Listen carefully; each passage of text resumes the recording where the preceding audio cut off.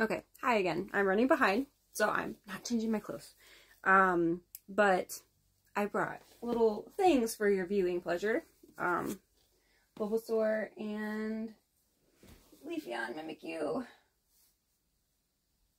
These days, come on, let's go. Okay. So there you go.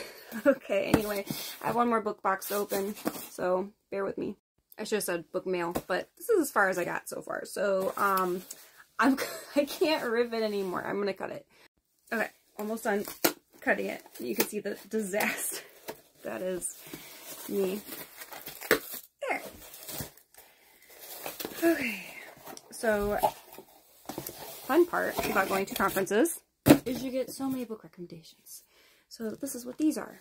Um, mm, in the Dream House, I was talking to an independent editor, and she was saying how very um, triggering this is, but how it is written in such a different way, structurally, with different um, tactics used of the um, English language in a Dream House by Carmen Maria Machado. I will flip this back.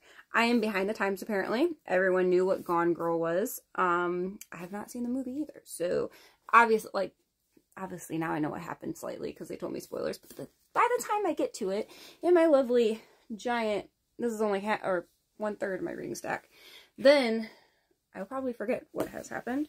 And then in one of the um, meetings, this teacher um, that I loved, she recommended Patricia A. McKillip for fantasy read. So we'll see if it has stuck up with its times, I guess you could say. But we'll see how this is. Let me the camera There you go, in a dream house. It looks very interesting. Gone Girl.